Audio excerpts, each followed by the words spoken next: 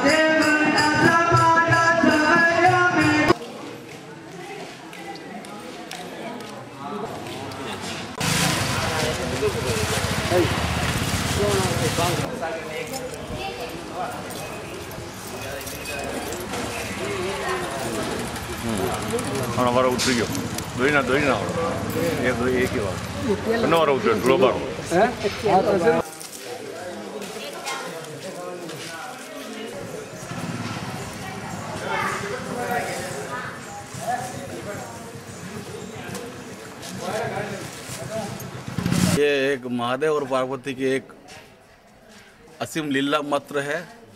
इसे ग्राम वासियों द्वारा और आदिवासी समाज द्वारा दोनों को मिल करके इसमें पूरा भाग लेते हैं और लेकर के इस आयोजन को पूरा किया जाता है। और ये आस्था का प्रतीक है। आस्तिकता के आधार पर इसको काम किया जाता है। आदिवासी और ग्रामवासी जो माता जी के दोनों समय सेवा करते हैं और गौरी आयोजन का खेल होता है। और सवा महीने का खेल होता है। इसमें मतलब हरी चीज़ को नहीं खाई जाती है। और जो व्यक्ति माता जी सेवा करते हैं, उनमें से आदमी एक व्यक्ति, एक जितो लोग, एक वक्त पे रोटी खाते हैं, खाना खाते हैं। बाकी के लोग से वो पूरी तरह छुट्टी होती है। और इस पूरे विसर्जन का एक आयोजन होता है गड़ावण वड़ावण का। माता जी की एक प्रतिमा बनाई जाती है ग्रामवासियों द्वारा। उसको गाँव के मध्य चौरे में लाकर रख कर के उसकी पूजा आरती की जाती है। और उसके बाद समस्त ग्रामवासी एवं सभी लोग साथ रह करके उसका माता जी का विसर्जन कर देते हैं। विशेष करके क्या आकर्षण होते हैं इसमें? विशेष स्तर में तो हाथी की सवारी निकल जाती है। एक को उसको चित्तौड़गढ़ में कोई माता जी कालिका माता का मंदिर है उसको बादशाह द्वारा तोड़ने के लिए एक फौज का निर्माण होता है और उसको तोड़ने के लिए भरपूर कोशिश उसको पुनः करके बताया जाता है कि ऐसा उस समय हुआ था। और इस प्रकार ये हाथी का एक हाथी की सवारी पर ऐसा कहते हैं उस समय कि माँ शक्ति ने उस पर आरूढ़ होकर के कहे और सब सेनाओं को समाप्त किया और आस्था के रूप में उसको हाथी को आज भी घुमाया जाता है। लेकिन उसके ऊपर अम्बावाड़ी नाम से एक जो काठी लगाई जाती है उसमें माता जी की प्रतिमा ही लगती है नहीं कोई आक्रमणकारी व्यक्ति की प्रतिमाएँ नहीं होती है। आम ग्रामीणों में क्या उत्साह रहता है? आम ग्रामीणों में भयंकर उत्साह रहता है। उनको अनेक प्रकार के माता जी के बेस को मानते हुए, उनको साज सामान, कपड़ा, आदि, कंबलें, बर्तन, भोजन, अनेक प्रकार के व्यंजन बनाकर उनको गौरी वालों को खिलाए जाते जबकि वो आदिवासी समाज का तो उनका भरपूर इज़्ज़त, सम्मान से उनको सम्मान दिया जाता और उसमें जातिवादी का भेदभाव नहीं होता। गौरी में सबसे बढ़िया पात्र ये मीणा और ये सांसिया जो निकलता है और बंजारा। इनमें माता जी के जितने भी बोपे होते हैं और भक्त होते हैं उनको तगड़ा जोश आता है और माता जी साक्षात इस चोरे में जैसे नृत्य करती हो वैसे लगता है। हट्टे डाड़मा है और एक राधा कृष्ण वाला दोनों अच्छे लगते हैं। कितने साल से देख रहे हैं ये लगभग तीस साल से। अच्छे अच्छे कलाकार।